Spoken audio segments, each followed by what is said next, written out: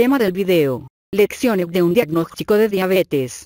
La noche en que me diagnosticaron diabetes, estaba en el hospital después de que me atropezara un automóvil. Afortunadamente, solo tuve una fractura ósea menor en mi brazo izquierdo. El diagnóstico de diabetes, como no, fue devastador y fue confirmado por un médico que me examinó. Me recetó terapia física para mi brazo. La buena noticia fue que mi brazo no fue operado. Pero la idea de tener que lidiar con la diabetes era peor. Significaba visitas médicas interminables y cogitosas recetas de insulina, determinado a evitar ese destino. Investigué sobre la diabetes y aprendí que se podía revertir. Los estudios habían indicado que esto era posible, con los diabéticos recuperándose y perdiendo peso en el proceso. Iba a revertir mi diabetes y comencé a aprender sobre alimentos útiles como espinacas, tocolí y naranjas.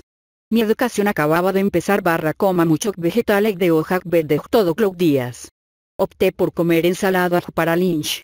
Brócoli y espinacas frescas fueron los dos ingredientes principales. Ensalada de huevo y lechuga fueron los otros ingredientes. Como diabético, Podía comer atún y salmón, capturado en la naturaleza, las bebidas eran agua de limón, café y té verde. Evite las donas, las papas fritas, los refrescos, el jugo de naranja, los pasteles, los cereales dulces, la pizza y los helados. Y aunque se habló poco sobre los antojos, los experimenté de todos modos. No McDonald's Prezi. Concéntrese en una dieta basada en plantas en su lugar. Al principio, sufría muchos antojos, pero recurría a nueces como almendras y nueces como refrigerios y gradualmente reduje los antojos.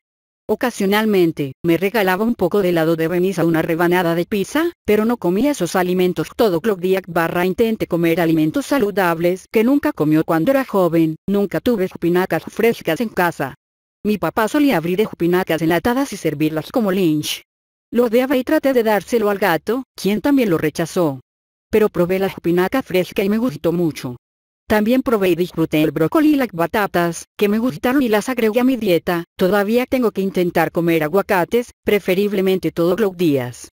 Y no soy fanático de los peces, ciñete a los alimentos integrales saludables que te gustan y evita la dieta de moda como la paleo y la cetogénica. Ahora la paleo y la cetogénica tienen sus buenos consejos, pero son bastante restrictivas. Probé la dieta cetogénica durante una semana, pero no me importaron muchas de sus funciones. Alimentos y se detuvo unos días más tarde. Opta por un huevo para el desayuno, que te ayudará a mantenerte seno. Los huevos revueltos o las tortizas siempre son buenas opciones. Solía tomar café y una naranja fresca, que no me satisfacía en absoluto. Comía mucha pasta, hamburguesas y otra comida chatarra. También gané peso y desarrollé presión arterial alta y diabetes tipo 2. Recuerda hacer ejercicio todos los días, incluso dando un largo paseo andando en bicicleta. Caminar es ideal. También lo es trotar. Ambas actividades son buenas para el corazón. También perderá peso y se complacerá en deshacerse de los pantalones y blusas holgados. Estoy trabajando para revertir la diabetes, pero tengo más energía y he adelgazado. Entro cómodamente en ropa tasa 12 y he comido alimentos integrales de forma rutinaria. Vale, disfruto de una rosquilla ocasional o de unas cuantas patatas fritas, pero no las como todos los días. También disfruté mi aventura comiendo diferentes productos saludables. Mi presión arterial ha bajado. Mi ropa se siente suelta y la gente ha notado mi peso perdido. No soy médico y solo me interesa mencionar lo que me ha sudado.